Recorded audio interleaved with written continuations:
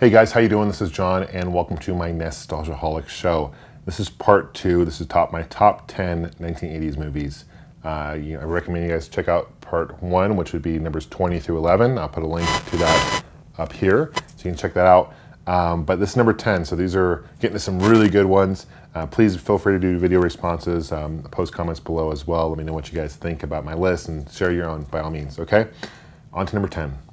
Okay, number 10 on my list is hugely popular today. It came out in 1985, written by Steven Spielberg, filmed in the Oregon shore on the Oregon, coast. Hey, you guys. I'm sure if you guys recognize those words, you probably know what I'm talking about. It's called The Goonies, uh, starring Corey Feldman's in the movie, as well as uh, Sean Astin, who went on later on to uh, star in Rudy, the movie Rudy, as well as the Lord of the Rings trilogy did a great job uh, in that movie as well, those movies as well. But uh, classic movie, um, basically these kids go on an adventure and they find like a treasure map and they want to uh, go and find One-Eyed Willie's and his treasure and, and they, they bump into a whole bunch of people in the way, some bandits, and it's super funny.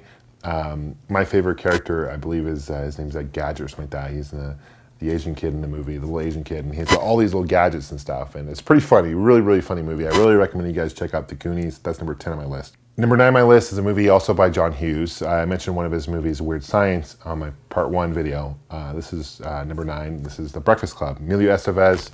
Um, love the soundtrack in this movie. Uh, basically, they're in school and a bunch of just different characters get together in detention and they talk to each other and it's like they kind of bond in a kind of a really unique way. Uh, and it's done really, really well. Um, definitely classic 1980s movie uh, for sure. I had to put it on my top 10. Number eight on my list is a movie that came out in 1985, features uh, Michael J. Fox, Back to the Future.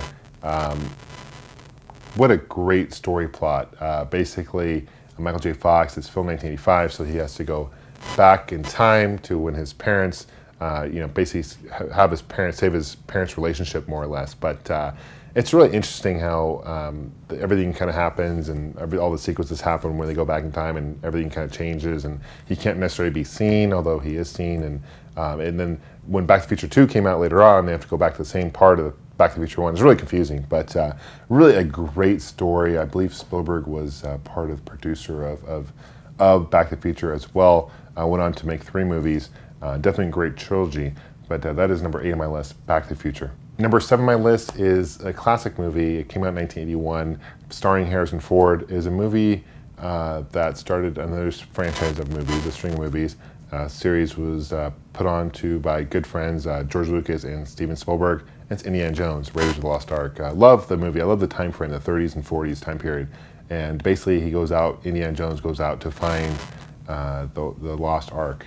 Uh, and uh, goes in, as he goes on the adventure, he, you know, a lot of cool things happen. So uh, definitely recommend uh, Raiders of the Lost Ark. That is number seven on my list. Number six on my list is kind of an interesting pick. I'm sure maybe some of you guys may have never heard of this movie before, but to me, it's just it's got a cult classic feel to it. Didn't do very well in the theaters. In fact, it did, it flopped. Um, I believe it, budget of it was like 11 million, only made like 3 million in the theaters. Didn't do very well at all.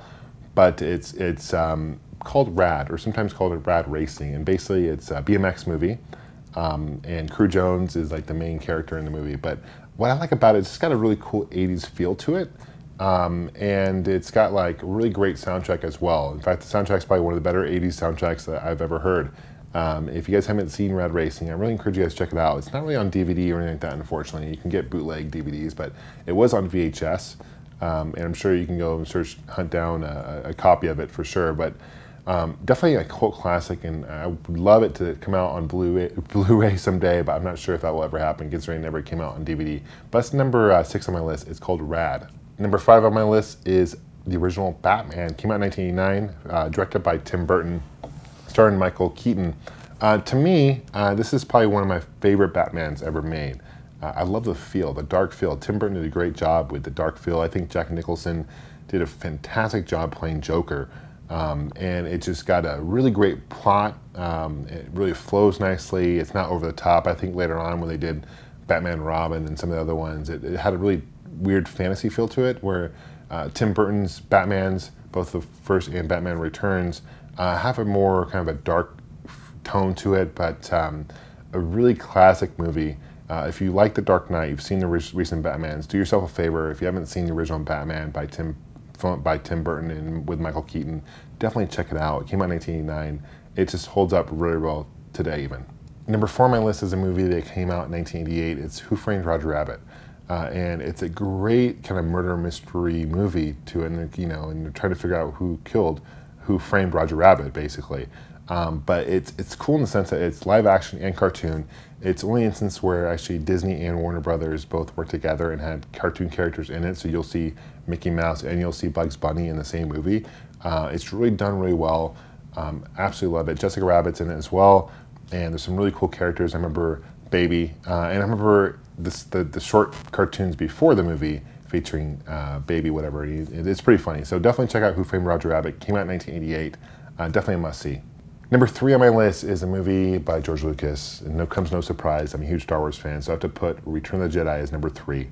Um, absolutely love this movie. Um, and it's the kind of it wraps up the whole Star Wars story really well at the end. Um, special effects still hold on today. Um, you know, I love the, the, different characters George Lucas used. Uh, definitely a classic in my personal opinion, and a really nice finish to the original Star Wars trilogy. So that is number three on my list. Number two on my list is a movie by Steven Spielberg, came out in 1982. It's E.T., the extraterrestrial, uh, starring a young Drew Barrymore.